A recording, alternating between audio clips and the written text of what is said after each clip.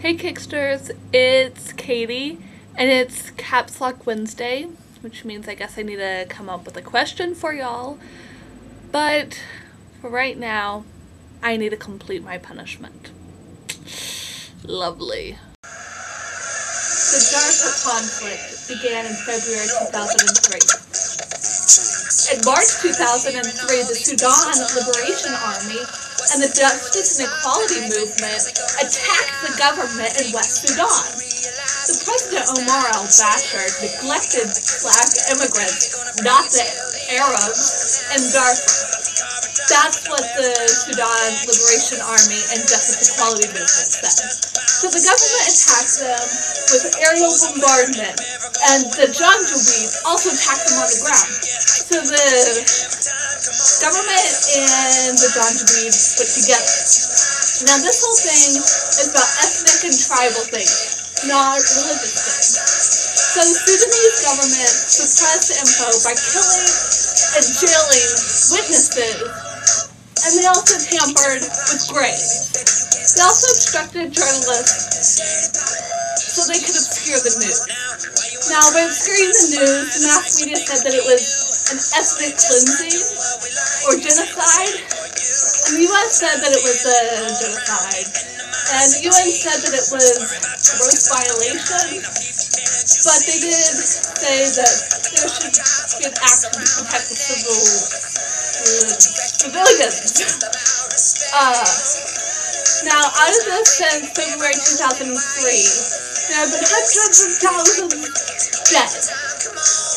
The UN says that it's about 450,000.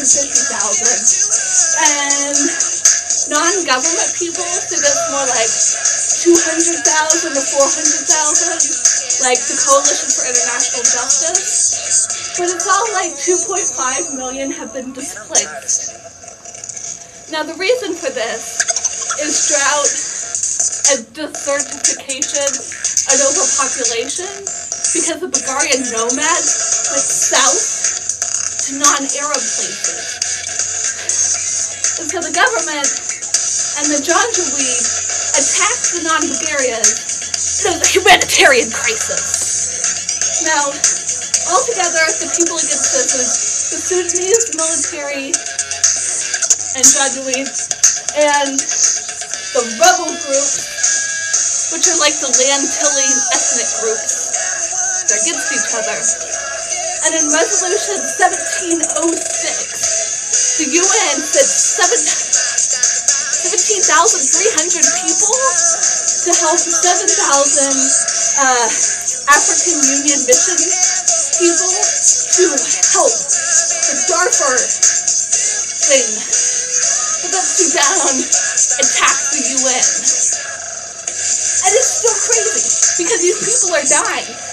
And I don't know what's going on. But it's it's the economic and political situation in Darfur.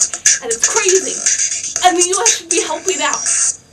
Because these people are dying. And I think that's all that I know right now on the Darfur political situation. And I tried to dance. Dancing's freaking difficult when you're trying to explain Darfur and you have to dance in sync. so, my question to the Kicksters is what do you think your country should do to help the Darfur situation in Sudan? Uh, I know I said US, that's because most of the Kicksters that I know are from US, but one of the House of Kick people, they're in Canada. So, what do you think your country should do to help out the Darfur political situation? Yes. Okay, I'm gonna go now and get ready for my classes. Goodbye, Kicksters.